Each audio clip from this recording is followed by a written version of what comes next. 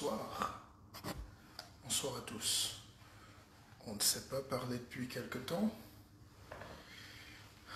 Et voilà, c'est un énorme plaisir de vous retrouver. Bonsoir, bonsoir à toute l'Afrique. Euh, je suis le Pépé, le Pépé martial de Bissoc. Je ne sais pas quelle heure il est chez vous, mais quel que soit le lieu de la planète où vous êtes, je vous passe un petit bonsoir et avec tout le charme qui va avec et vous dire que l'Afrique n'est pas orpheline. C'est la semaine des martyrs. Euh, c'est le mois des martyrs d'ailleurs. Septembre, c'est le mois des martyrs. Et j'en parlais avec euh, mon frère Henri Diabaté. Vous savez qu'Abel et Inga étaient euh, le premier secrétaire de l'UPC. Et l'UPC, c'est la naissance du, de l'intelligence et de la résistance africaine, le RDA, tout ça. Mandela, étant en prison, a dit que c'est grâce à Oumyobé, qui était le premier Africain à se lever pour lutter. C'est beau notre histoire, c'est beau. Donc Abel et Inga, donc en 64, il quitte, il arrive il arrive à Alger. À Alger, il y a Ben Bella, il y a le mouvement de résistance contre la colonie, contre la félonie. Et puis Abel le premier secrétaire de l'UPC, demande les armes Il a résisté à plus de sept empoisonnements, neuf tentatives de, de, suicide, euh, de, de tuerie, d'attentat. Les Français veulent le tuer, les colons veulent tuer Abel Inga, comme tous les autres.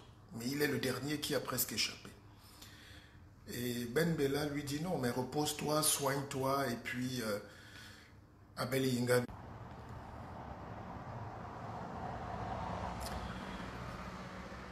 Donc ça, c'est votre histoire. Abel Inga dit il faut des armes. Eh, Abel, euh, Abel pardon. Abel Inga, c'est quelqu'un d'autre. Hein. Abel Kingé. Donc, qu'on appelait Kenyé. Donc Abel euh, Kingé, euh, je ne sais pas pourquoi je parle d'Abel Inga.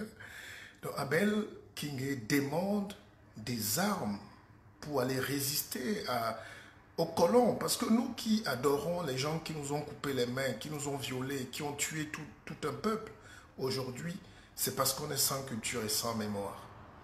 Et c'est pour ça que jusqu'à présent, on ne se fait pas confiance. On nous a fragilisés pour un millier euh, d'années encore.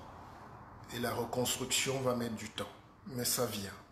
Il y a des gens qui continue de croire qu'on peut faire des choses ensemble et qu'on doit lutter. La vie, c'est la lutte.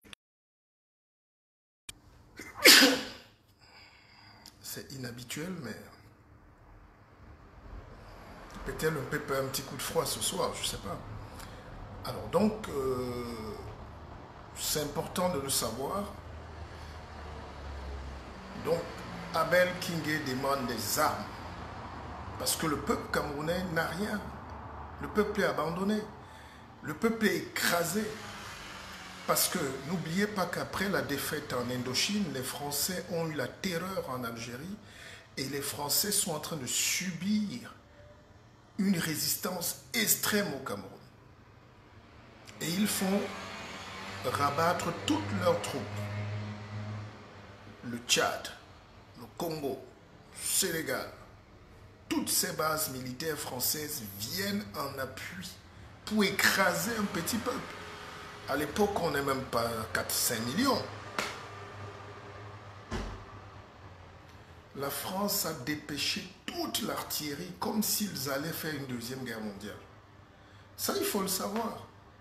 Et Abel et Inga, Ben Bella lui dit dors, tu te reposes, tu te soignes. Il dit non, il faut que mon peuple. Si je reste ici, les gens là vont mourir. Il faut qu'on résiste. Ben Bella lui donne l'avion et il va d'abord en Égypte rencontrer Nasser. Nasser qui l'appelle aussi pour dire viens prendre les armes. Et je rappelle aux Africains qui sont jouissifs du mauvais vin et de la vie facile aujourd'hui que la vie d'un peuple. C'est la libération et la libération, c'est la lutte. Même si vous fuyez, vous allez lutter. Même si vous fuyez mille ans, le peuple malien s'est levé pour lutter. Il faut saluer ce peuple. Mais il ne faut pas que la lutte tombe entre les mauvais profiteurs. C'est pas ça le problème. Le problème, c'est que ceux qui ne luttent jamais profitent. C'est eux qui dérangent la révolution ou l'évolution de la race, ou l'évolution des concepts, ou l'évolution en politique. C'est ceux qui sont attentistes, les profiteurs, ceux qui aiment les profiteroles, qui sont cachés, qui encouragent les autres, qui ne veulent pas se mettre, qui sont de l'autre côté où il ne pleut pas. C'est eux le danger en Afrique.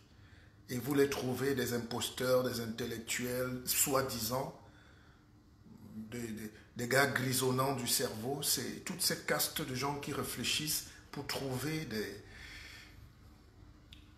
pour trouver des circonstances atténuantes à la colonisation. C'est eux qui viennent toujours apporter des réflexions du genre, bon écoutez, euh, on n'est pas, ben, il faut, non, les nègres doivent se libérer. Peut-être par la tête, par la pensée, je ne sais pas. Mais il faut plus qu'on subisse. Hein? Il faut plus qu'on subisse. J'étais avec euh, une personne qui m'est très chère, qui a une autre éducation, euh, très française. Elle m'a dit quand même tout à l'heure qu'elle est entrée dans un magasin et elle a constaté ce qu'elle ne voyait pas souvent. Elle a constaté que les métiers les plus, les plus rabaissants, nous continuons à les faire, même quand nous sommes à l'étranger.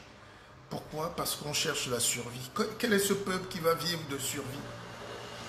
Quel est ce peuple qui va tout le temps vivre de survie? Alors qu'il faut encourager l'entrepreneuriat, il faut qu'on s'y mette, il faut qu'on avance, qu'on monte, qu'on laisse nos traces, qu'on crée nos choses. Nous sommes 2 milliards et demi de consommateurs dans le monde, 3 milliards si les gens ne sont pas de mauvaise foi. Ne me dites pas que ces gens ne peuvent pas vendre même leur eau glacée et la boire, qui ne peuvent pas vendre leur beignet, mais bien emballé, qui ne peuvent pas vendre leur bâton de manioc, leur mitumba. Et c'est cette culture qui nous pose encore problème aujourd'hui. Les gens nous détestent parce que nous sommes avant-gardistes. Loin des discours euh, pompeux, creux, la révolution, oui, mais il faut rappeler aux gens. Donc, je parlais d'Abel Kingé qui quitte donc Alger, étant malade, sept fois empoisonné, il a résisté. Nos papas étaient forts. Nos parents étaient des lutteurs. Vraiment, si on ne met pas une université pour chaque héros, surtout au Cameroun, nous ne pourrons jamais nous développer. Si on ne donne pas une université à chaque héros au Cameroun, si le lycée Leclerc s'appelle encore Leclerc, en plein centre de Yaoundé, en face de l'Assemblée nationale, et les goguenards députés ne peuvent pas voter une loi pour interdire ce genre de conneries, vous comprenez qu'on a encore pour mille ans d'esclavage. Leclerc, c'est ce petit garçon, hein, ce petit imposteur qui n'était même pas capitaine, qui est devenu général. Il s'est fait général une fois devant les nègres pour les écraser. Donc, donc Abel Kingé donc, est fatigué. Il est croulant, il marche à peine. Les Algériens proposent de lui donner une résidence, de, l'argent. L'hôpital, il dit non, il doit aller lutter. Et on lui donne, Ben Bella lui donne son vol personnel pour aller euh, rencontrer Nasser, qui est un baron aussi en Afrique, et arriver en mai 64 il tombe en Égypte. Et il est enterré au cimetière chrétien copte. Et beaucoup de Camerounais vont là-bas et ne se rappellent même pas qui est Abel Kingé.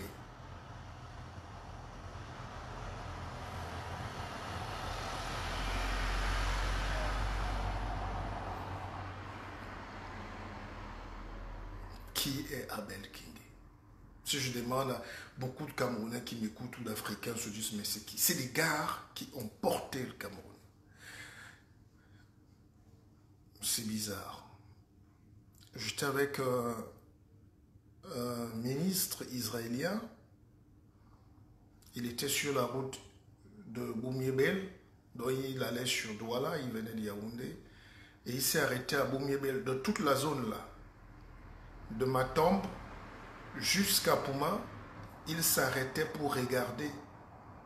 Il entrait en il voulait comprendre comment Oumyobe n'a même pas un nom écrit, même avec son sang, même sur une plaque quelque part. Un Israélien. Et ça m'a touché. Et donc aujourd'hui, nous demandons la révolution, je ne sais pas laquelle. Est-ce qu'il y a révolution quand les gens n'ont pas assez mangé dans la tête? Est-ce qu'il y a révolution quand les gens ne savent même pas qui ils sont? Quand les gens créent des problèmes de, sauvagerie? Quand, quand le tribalisme est présent? Vous savez, la culture occidentale n'a peut-être pas la mémoire qu'on lui prête, mais c'est les gens qui sont en avance. Tous les jours, dans cette belle France que nous, que nous admirons, vous découvrez que les héros sont partout. Les héros sont partout. Même morts, ils sont célébrés. Les métros, les stations de métro, les rues, les écoles, tout, chaque avenue en France est une avenue qui porte le sang et la mystique d'un héros de la liberté française. C'est pour ça qu'ils vont être forts pendant même 3000 ans encore.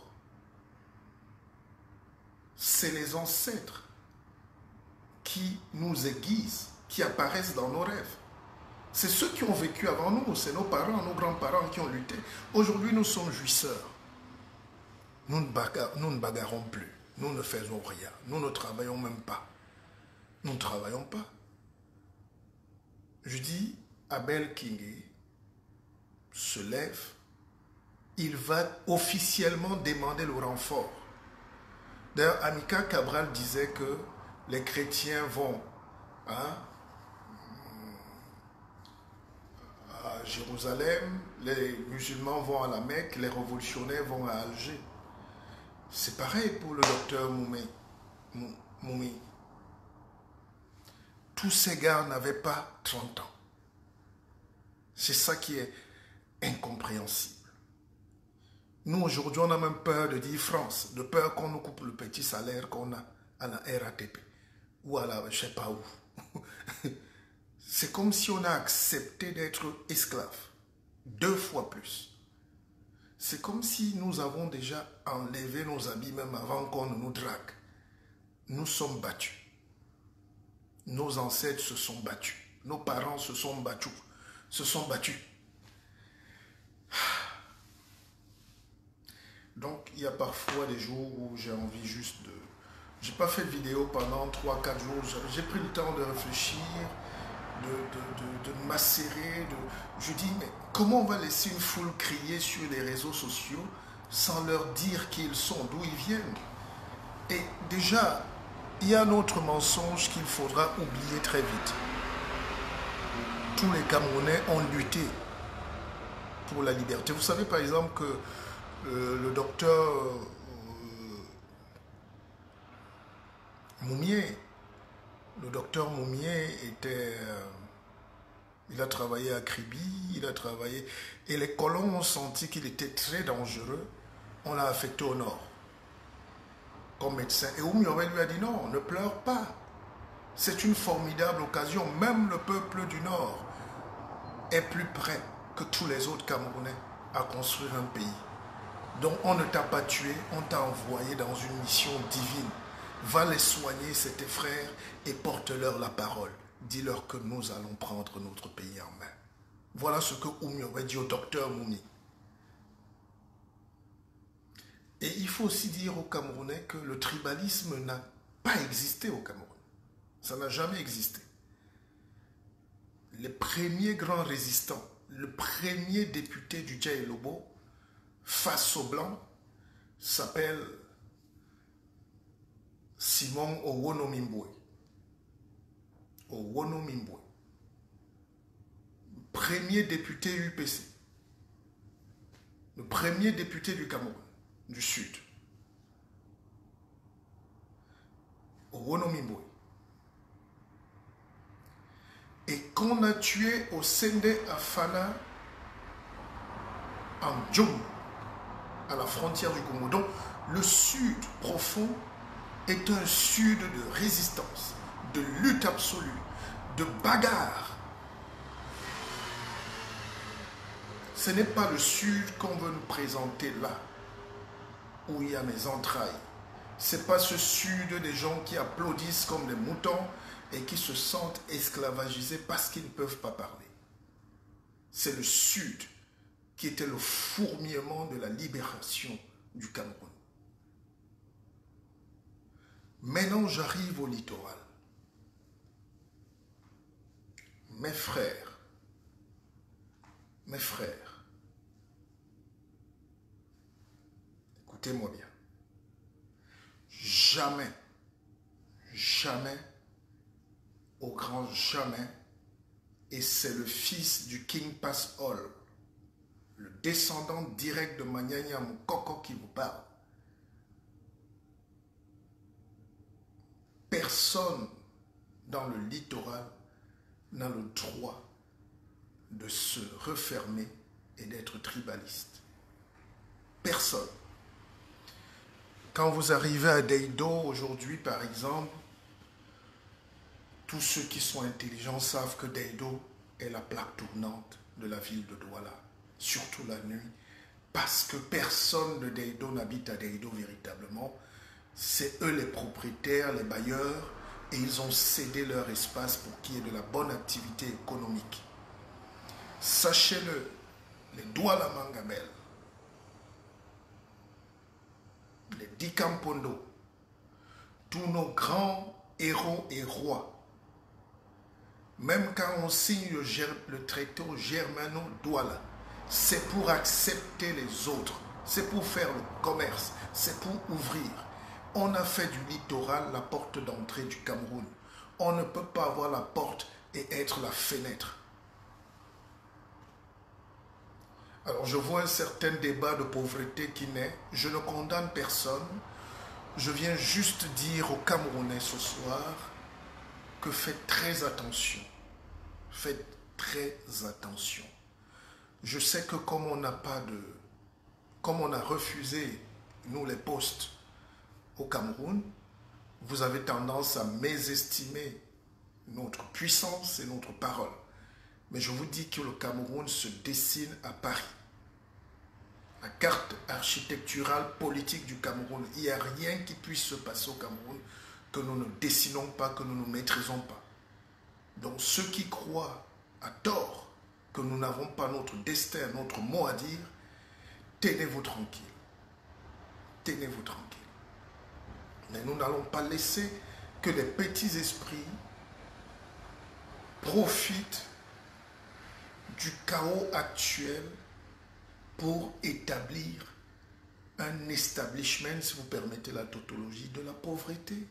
Ils sont incapables de développer un pays, mais ils veulent donner des leçons aux gens qui ont les moyens cognitifs, ésotériques, métaphysiques, matériels, financiers. Vous ne pouvez pas lutter. L'imposture a assez duré au Cameroun. Je comprends que le président Biya, pour rester longtemps au pouvoir, c'est tout à son honneur, c'est pas le mien. Pour rester là longtemps, il a fallu qu'il utilise tous les moyens de rapetissement des esprits. Parce qu'on ne dure au pouvoir avec les grands hommes. Il faut chosifier les gens. Il faut les tuer vivants. Il faut les dessoucher. Il faut les imbéciliser. Il faut les décontenancer. Et ça, le président a réussi à merveille à faire douter les rois, à faire douter les chefs, à faire voler en éclats la dignité qu'il y avait en chaque Camerounais. On est des aplaventrices qui attendons. On pleure. On ne veut pas affronter la vie. Et on se retourne vers un idéal de renfermement tribal. Il n'y a aucun avenir dans le tribalisme. J'ai écouté un artiste ces jours-ci qui se plaint d'avoir été euh, voilà, euh, pris euh, par des ministres, le président va escroquer, tout ça. Ce qu'on ne nous dit pas, c'est que pour être grand, il est parti de son village. On part tous de nos villages pour aller à la rencontre du monde, de l'universel. C'est ça qu'on appelle grandir. Alors j'interdis au peuple savoir de se penser petit, de rentrer dans ce petit jeu de la misère pour satisfaire les égaux de quelques-uns hystériques qui ont tout perdu. Ils ont mal joué, ils ont perdu. Quand vous perdez, vous vous taisez, vous assumez. On ne peut pas demander à un peuple si grand, si ouvert, si porteur de style, de charme, ouvert jusqu'au tréfonds du Congo. On ne peut pas demander aux gens qui ont connu la civilisation européenne, pas qui ont côtoyé, qui ont connu.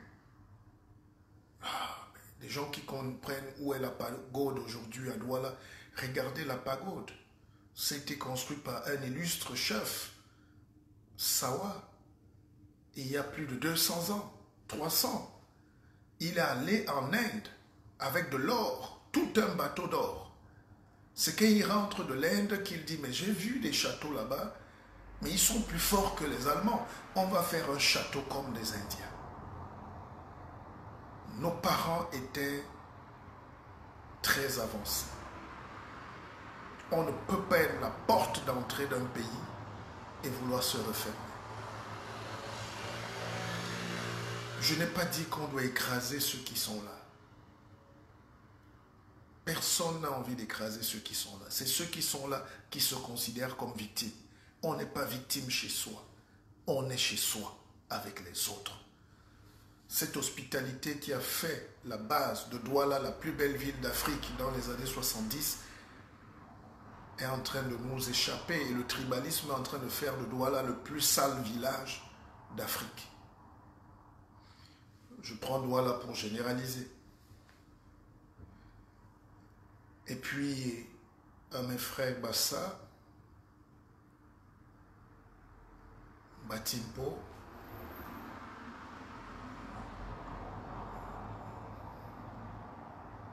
eux qui se trompent en intégrant le mot communautarisme c'est-à-dire, il y a quelque chose de très fort au Cameroun dans la politique de Yaoundé. C'est que vous voyez des concepts venir là, les gens font les directs, ils lancent des petits trucs, des fous même pas.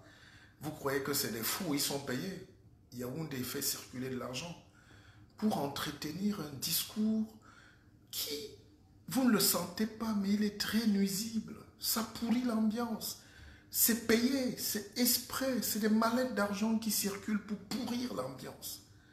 Ces mêmes choses qui ont détruit le Rwanda, qui ont détruit la Côte d'Ivoire hier, avec l'ivoirité et consorts, chez nous, les mêmes gens qui ont échoué à construire même un kilomètre de goudron sont capables et sont aux manettes pour monter des scénarios où chaque Camerounais se retranche et il se croit roi parce qu'il donne la bonne parole de tuer les autres, de chasser les autres. Ces terres sont en danger. La terre n'a jamais été en danger. 90% de la terre camerounaise est inexploitée par les Camerounais. Les étrangers exploitent à 95% la terre du Cameroun. Dans les débats concrets là, la terre a fait ceci, nos frères ont fait cela. Mes frères Bassa doivent s'écarter du communautarisme. Je sais que ça fait le jeu de quelques-uns. Ils peuvent avoir quelques sièges, de la visibilité, une carrière politique. Même si on ne l'achète pas, l'imposture ne durera pas longtemps. On est d'accord. Vous ne pourrez pas demander une zone. Vous ne pouvez même pas. Vous n'avez pas le droit de demander votre région à vous. Aucun clan, aucune tribu, aucune communauté au Cameroun n'a la terre ou ne contrôle un espace géographique. Et je dis peut-être merci aux colons qui vous avaient vu, vu venir. Parce que si les Blancs ne vous avaient même pas mélangé, même avec la guerre, ou même de force, vous serez peut-être les gens les plus haineux du monde. Quel est le peuple au Cameroun qui peut se prévaloir d'avoir un espace géographique? Seul. Mais forcément, euh, quand quelqu'un a passé 10 ans sur le désert, dans le désert, il croit qu'il est Camerounais parce qu'il connaît le Cameroun. Non, même étant au Cameroun, beaucoup d'entre vous ne connaissaient pas le Cameroun, n'avaient même pas fait 10 villes, même 10 villages. Moi, je peux me targuer d'avoir parcouru tout ce pays, de long en large, du nord au sud, est en ouest. Je me suis arrêté dans chaque village, j'ai pris le temps, j'ai noté, j'ai mangé avec des gens, j'ai dormi, j'ai appris la langue, la culture qui est la même partout. Donc ne venez pas avec des thèses. Et dans ce brouhaha d'idiotie, vous retrouvez des professeurs d'université, vous retrouvez des gens, des fonctionnaires, vous retrouvez des administrateurs, des ministres, des directeurs, des gens payés par l'argent des Camerounais pour vendre la haine. Je demande donc au procureur d'être très vigilant, nous devons les arrêter. Il y a un imposteur qui a parlé là il y a quelques jours, c'est lui l'imposteur. Je n'insisterai pas, mais quand on change déjà d'identité, de nom et d'âge, on n'a pas le droit d'être ministre dans un pays. On a un faussaire. Pour les ennuis judiciaires, on en fait grâce. Donc, je dis à mes frères Massa, Batimpo, c'est vous qui avez l'âme, la foi. Vous avez la sorcellerie de ce pays. Cette petite sorcellerie qu'on a donnée un polio indomptable depuis 72, depuis 82, cette sorcellerie qui faisait, que même quand vous sortez du village, vous allez affronter l'équipe d'Italie ou du Pérou ou de la Pologne, vous les regardez droit dans les yeux. C'est cette force-là qu'on vous demande de mettre au service de votre pays. On ne vous a pas dit de créer une région imaginaire de la Grande Sanaga. Qu'est-ce que vous allez mettre dans la Grande Sanaga? Les Malimba sont de la Grande Sanaga. Les Banen sont de la Grande Sanaga. L'impôt Bakoko sont des propriétaires de la Sanaga. Vous êtes sûr que vous avez besoin d'une région Sanaga pour vous dans un monde éclaté où on doit aller vers la République? Arrêtez ce petit jeu. Ça nous rabaisse. Ça nous rabaisse. Je puis vous rappeler que pour aussi longtemps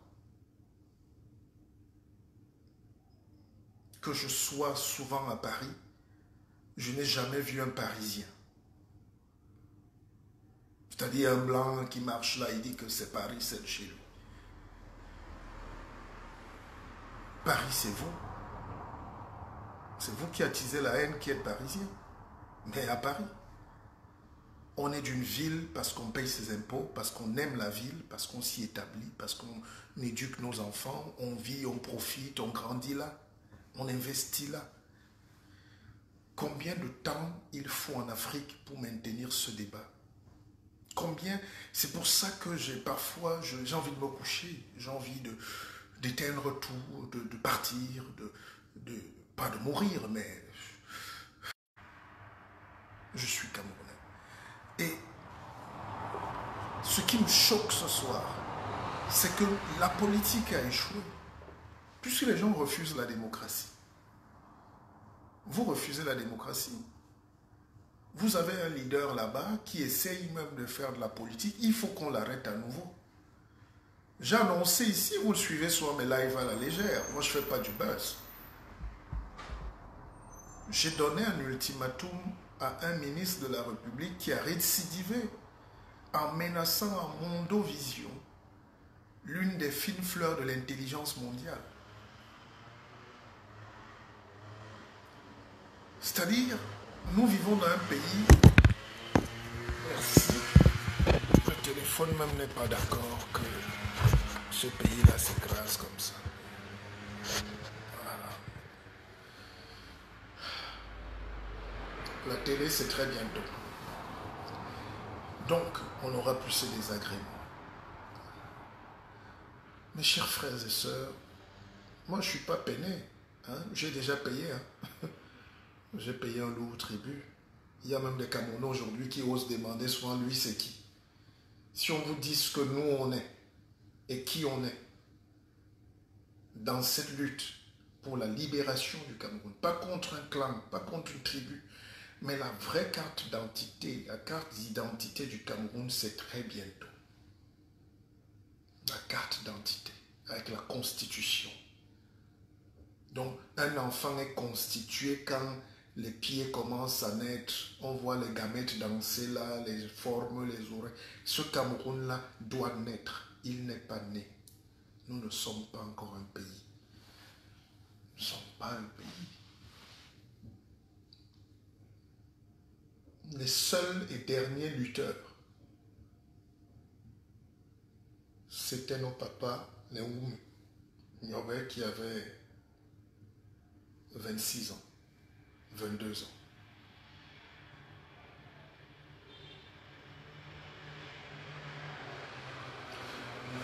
Quand je regarde maintenant, le message est passé pour mes frères de la fédération ECAM. Arrêtez ça tout de suite. On ne peut même pas vous donner la fédération, puisque vous ne savez pas ce que c'est.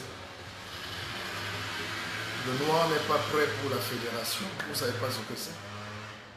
Je l'ai expliqué dans une conférence au Danemark. Quand on dit fédération, ça veut dire fédérer. Mais vous, dans votre tête, fédération, c'est chacun rentre chez lui. Les mêmes métastases vont se reproduire puisque vous allez fuir Yaoundé pour aller être chef chez vous. On constate déjà ces velléités-là à l'Assemblée nationale où tout, chacun croit qu'il doit rentrer dans son village. Quel avenir vous avez dans vos villages? Quel avenir? C'est ridicule. Je lance un message à mes frères de l'Ouest.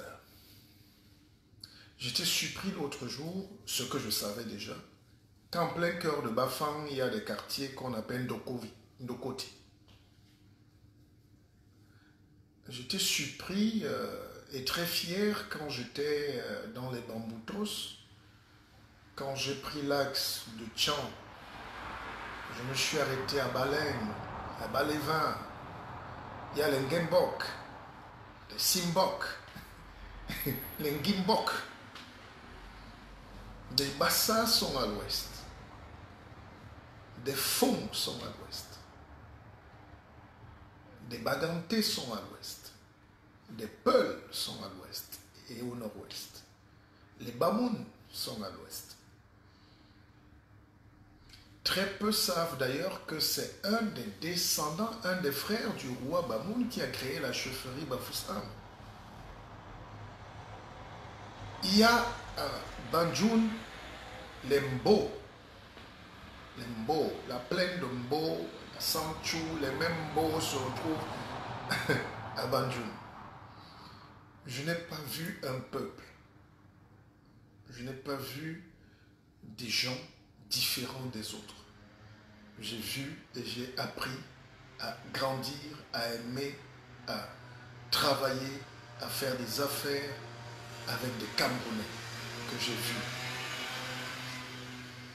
Et je vais dire au reste des Camerounais quelque chose que très peu disent.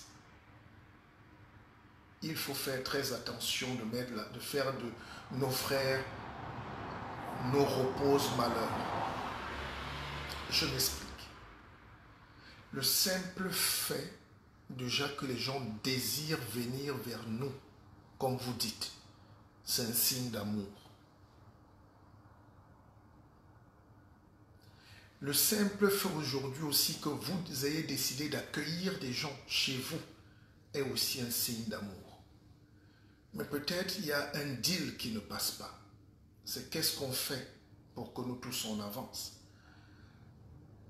Je dis à mes frères de l'Ouest, ne vous refermez pas. Ne vous sentez pas frustré. Il y a des choses que vous ne dites pas parce que votre culture, il y a une culture aussi de, pas de l'hypocrisie, mais il y a une culture à l'ouest de, se renfermer, de ne pas dire, de ne pas placer le mot exact. Tout le monde n'est pas le chef Soukoudio qui dit, il parle, il dit, il fait. À l'ouest, et ça s'explique par la violence de l'État français sur ces populations qui sont nos frères, ils étaient obligés, comme on dit, d'être double jeu, d'être politiciens, d'être, de ne pas affronter ils jouaient avec le colon, mais ils attaquaient aussi la nuit pour résister, pour protéger leur culture. Ce qui est légitime. Et ça développait des réflexes où, parfois, nous, vous avez l'impression qu'à l'Ouest, nos frères ne peuvent pas souvent dire A quand ils veulent. Quand ils disent C, c'est qu'ils veulent A. ce jeu et ce désir de se développer. Mais ce qu'on doit retenir de chaque tribu au Cameroun, c'est le meilleur. C'est le meilleur. L'hospitalité légendaire de mes frères du Sud. La fougue, le himle, la force chez les frères Bassa, Batimpo, gardiens, les pots surtout gardiens de la mystique camerounaise, l'eau. Et puis les Sawa, le Koda Sawa, cette élégance, cette envie de grandeur, cette envie d'être comme l'autre qui est venu de... Comme le colon. Cette captation culturelle peut faire de nous un peuple qui va naître demain et qui va grandir. L'Ouest, si vous considérez que c'est une région, moi je considère qu'il y a des villages et des communautés éparses, mais il y a quelque chose de fort qu'on devait enseigner dans toutes les universités au Cameroun. C'est la culture de l'Ouest Cameroun. Cette culture où on n'a pas peur de se battre, d'aller travailler, d'aller s'enrichir, de bâtir, de construire. On n'a pas peur d'affronter l'économie. C'est l'économie qui fait la vie. J'ai eu l'impression, c'est mon impression, le pépère se trompe rarement. Mais si je me trompe, vous me pardonnerez. Je prends le courage ce soir de dire les mots que vous ne pouvez pas dire j'ai eu comme l'impression que pendant tout ce temps, le système nous a appris à détester nos frères parce qu'ils sont initiateurs de l'entrepreneuriat et du projet social et économique. Comment on peut se mettre, comment on peut détester des gens qui produisent, même dans la souffrance, la boue, la douleur, des enfants qui commencent à pousser tôt, des gens qui, même sous la pluie, décident d'aller travailler, des gens qui peuvent faire pousser des immeubles partout sans prêt à la banque, sans prêt du FMI, sans prêt de la Banque mondiale. Des gens qui construisent des universités, des écoles qui peuvent se développer en réalité. Et nous devons nous développer ensemble. Il y a donc un discours politique, pas officiel, qui a entretenu la méfiance et maintenant on met ça sur le dos du colon. Qu'est-ce que j'entends? J'entends que quand les Français partaient, ils ont dit méfiez-vous des Bassa et des Bamileke. Et nous le répétons aujourd'hui et nous l'appliquons. C'est-à-dire les colons pour lesquels les Abel King sont morts, les Osendafana, les Moumiers, les Nyobe sont morts. Oh, King. Donc, les gens votre pire ennemi vient vous dire méfiez-vous de tel et de tel. Et lui part. Et vous restez dire que notre pire ennemi nous a dit de nous méfier de tel. Donc, depuis quand votre ennemi est votre ami pour vous dire de détester ou d'aimer qui vous devez aimer? Et le pire, c'est que vous l'appliquez.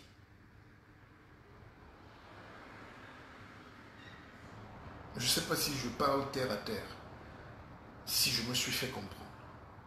Comment votre pire ennemi, quelqu'un qui vous gaze au napalm, vous dit de vous méfier des gens qui ont lutté pour qu'ils dégagent Je vais vous donner un conseil.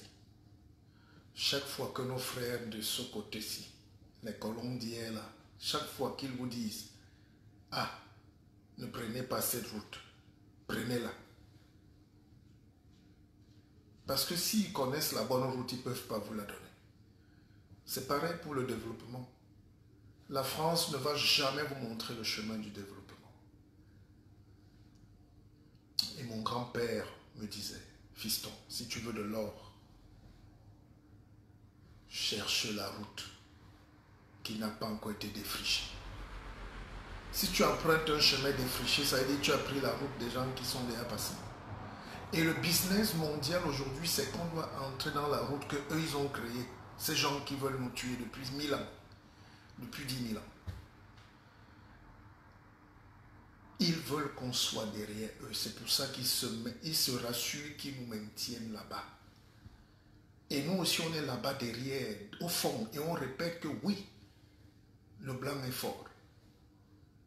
Je ne suis pas ici pour juger de sa force. Je suis là pour travailler et développer ma propre force. Mais si la force, si on m'ampute du bras droit, dont les Bassa partent, les Ewondo partent, les Ekang partent, les Sawa partent, les Bamileke partent, les nordistes alors disparaissent, qu'est-ce qu'on devient? Qu'est-ce qu'on devient? Donc ils auront réussi leur coup, ceux qui nous ont dit de nous méfier de nos propres frères la naissance du Cameroun est en marche. C'est la seule certitude que j'ai ce soir. Et ça ne dépend pas des petits costumes de Yaoundé, des petits postes, là, c'est rien. Un pays est plus mystique que ça. Un pays est plus grand que ces petits hommes que l'histoire ne retiendra même pas. Mais je suis juste désolé que pendant qu'on devait donc travailler pour recoudre le tissu, parce qu'on a été violé pendant des siècles. Hein. Et la colonisation continue. Hein. Chaque jour qui passe, l'Europe fait son avancée. Je vais vous faire par exemple un petit, un petit détail. Poutine est président en Russie jusqu'en 2035.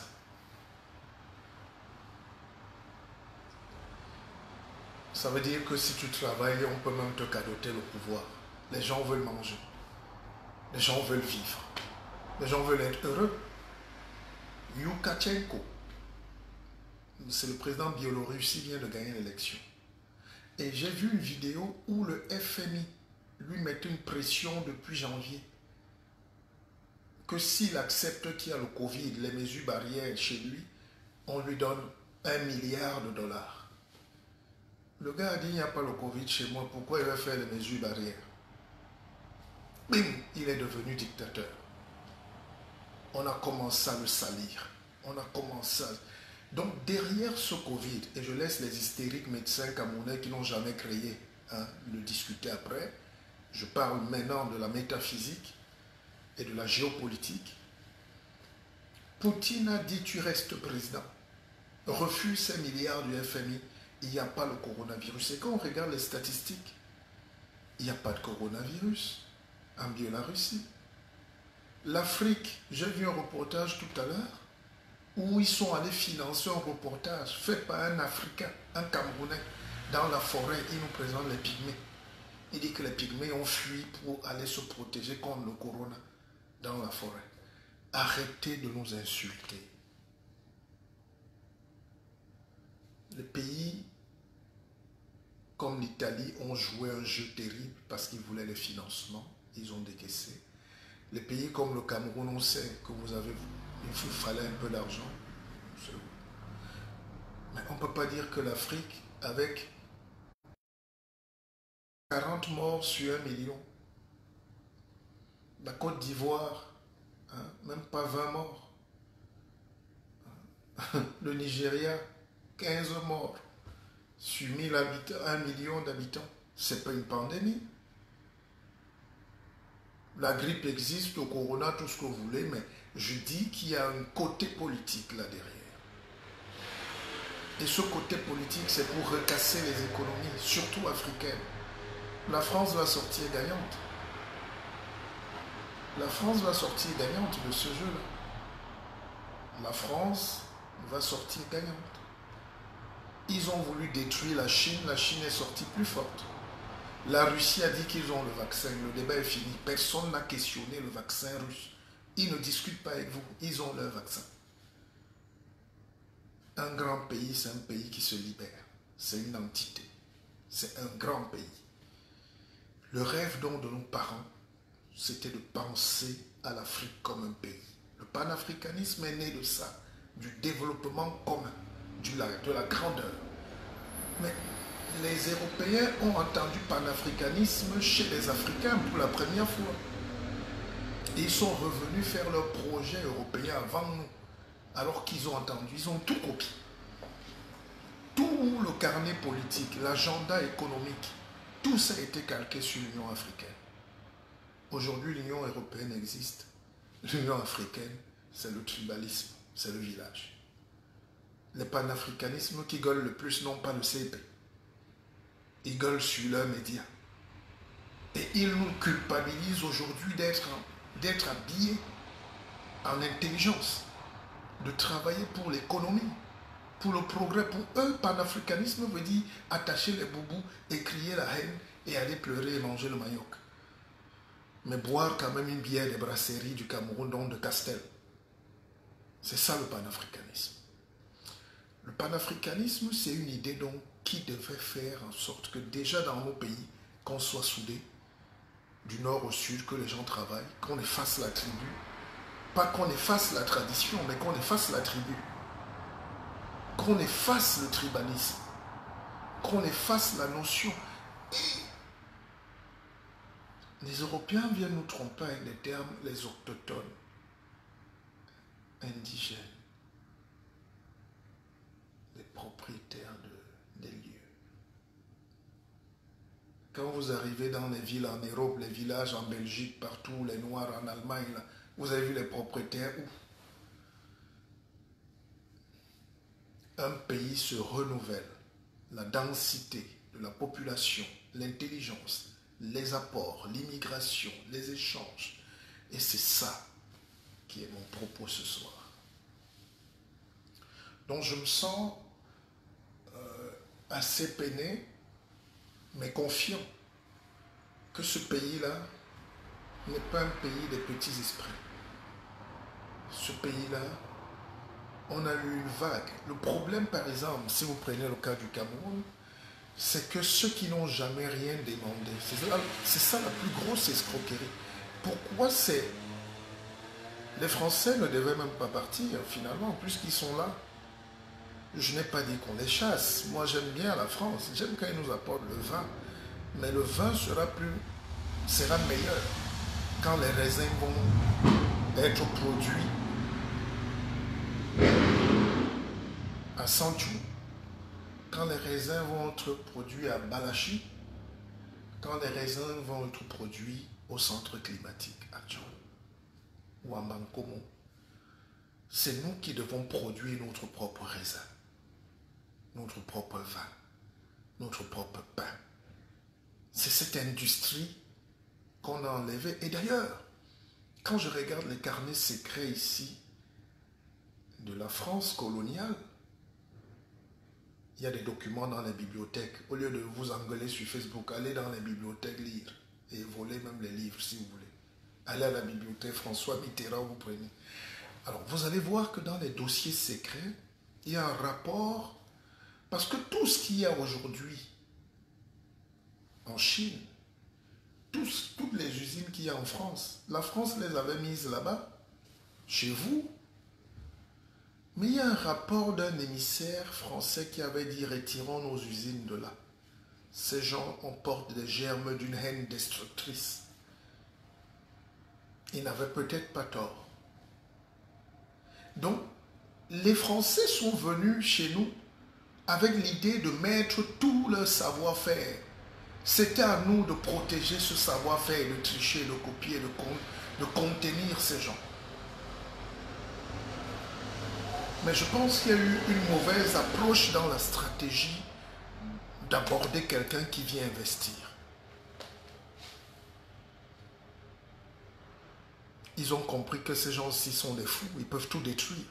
Leur haine, s'ils nous détruisent des usines des milliards ici, et si on leur donne le savoir, parce que quand vous avez une usine, comme à lui quand vous avez le nucléaire, très peu de gens le savent.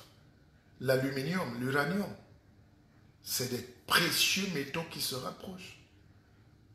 Et vous avez l'eau, donc il faut juste chauffer. Quand vous avez l'eau, vous avez l'uranium ou l'aluminium, tout ce que vous voulez. Amnium là, c'est les mêmes choses. Quand vous avez ces matières, vous séparez juste les frotons. Vous les faites chauffer à, vous les faites chauffer à bloc et vous les refroidissez par des condenseurs d'eau. On a la Sanaga qui est là. Son Loulou, le barrage de Son Loulou était le nucléaire du Cameroun en réalité. Quand vous avez un débit fort d'eau où vous pouvez refroidir l'atome, vous avez le nucléaire. Parce que le nucléaire chauffe. Mais au lieu qu'on se batte pour la science, pour maintenir ces gens qui étaient entrés chez nous, parce qu'ils croyaient nous avoir, il fallait donc créer une intelligence. Il fallait qu'on écoute des gens de cette époque. Comme aujourd'hui on ne nous écoute pas, c'est comme ça qu'on n'écoutait pas ses parents, ces savants d'hier. Il fallait maintenir la France sur place, par tous les moyens. Le but c'était de voir, d'apprendre, de rechanger le fusil d'épaule.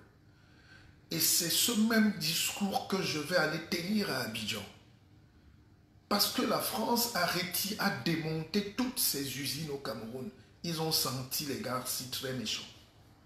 Très dangereux. Ils ont vu notre haine comme ça. Ils ont dit non, les gars, si.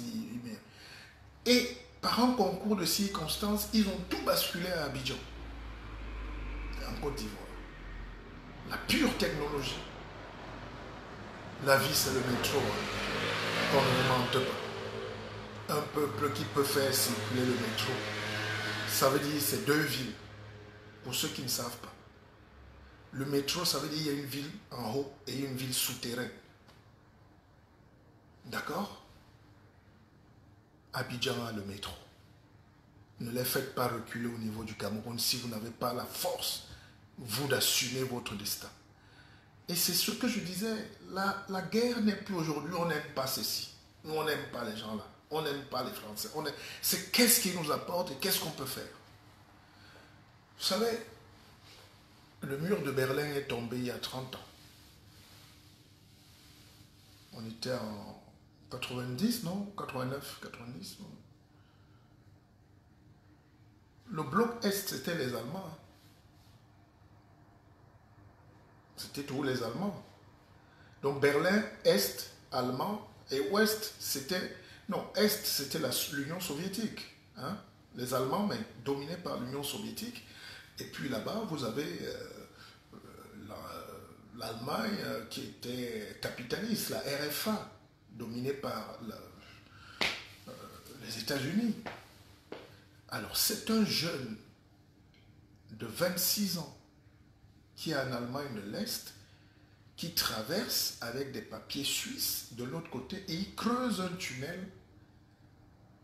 Le tunnel, le mur de Berlin, creuse un tunnel pour faire passer sa petite amie et il fait passer la plupart des Allemands. Et l'une de leurs missions s'appelait Tokyo, par rapport aux Jeux Olympiques. De 62, non, je pense. Je ne suis pas un historien. Mais je vous raconte des histoires. Parce que nous, quand on était petits, on nous a dit, quand on disait démarrer, fuir, on disait aller Tokyo.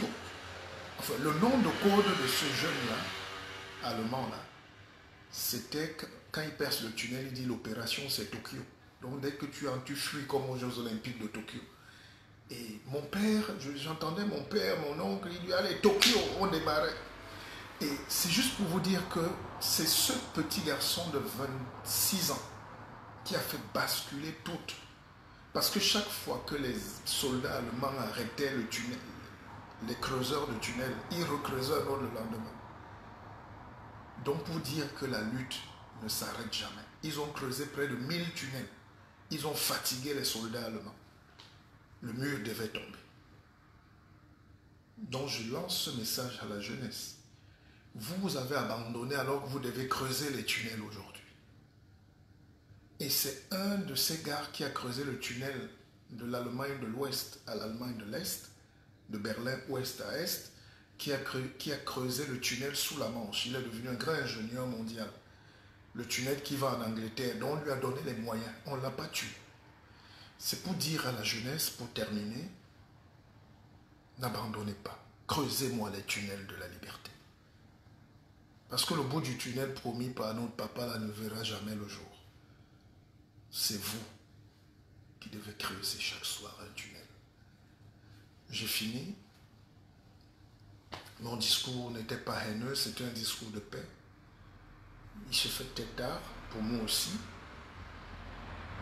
Mais je ne suis pas fatigué, j'ai envie de marcher, de réfléchir, d'écrire. Je suis en train d'écrire toutes ces petites choses qu'on vous dit là. Je suis en train de monter des projets pour qu'on avance. Et ceux qui veulent comprendre le fond de notre pensée politique et religieuse, culturelle, spirituelle, vous prenez ce livre, vous m'écrivez. Et pour les autres, ce live était spécialement pour remotiver un peuple qui est en train de s'autodétruire. Donc je vous aime fort et je ne sais pas ce que le destin nous réserve. Je ne sais pas quel rôle on va jouer demain.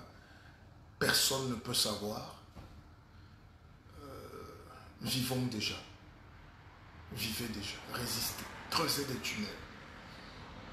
N'abandonnez jamais. Je suis très fier de cette jeunesse qui va se lever. Et euh, la de Mbanga disait Dedigo Manda Dibole. Nous partons. Hein. Nous partons tous les jours. Si je me lève demain matin, j'aurai vieilli d'un poil blanc. Les forces vont s'amenuiser au fur et à mesure. Mais la jeunesse doit creuser des tunnels. Ne laissez pas les pays comme le Cameroun disparaître dans la petite fierté de nous. On ne veut pas de tel, nous on ne veut pas. C'est nous les Vous ne pouvez pas dans une cité mégalopole aujourd'hui demander à rentrer dans vos villages. Il n'existe pas vos villages. Vous êtes devenus dans des gens du monde, de la mondialité, dans sa globalité. Vous laissez le Sambia, vous venez à la table de la mondialisation. Et euh, j'organise une grosse conférence à Paris. Ce sera ce samedi 26 septembre au Fouquet Barrière. Malheureusement, l'expérience a montré que quand on veut aller très loin vers nos choses, ça ne se passe pas souvent dans les commodités acceptables. Donc ça sera toujours Fouquet sur les Champs-Élysées. Ceux qui veulent participer, c'est libre. Vous nous écrivez, vous écrivez à moi et puis euh, voilà.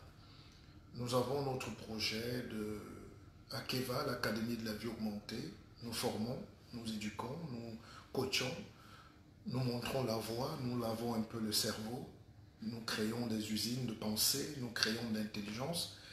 C'est tout ce que je peux vous dire et c'est ma contribution. Faire la politique, c'est aider les autres. Bonne nuit. Akeva, Akeva, Akeva et partagez le direct. Merci.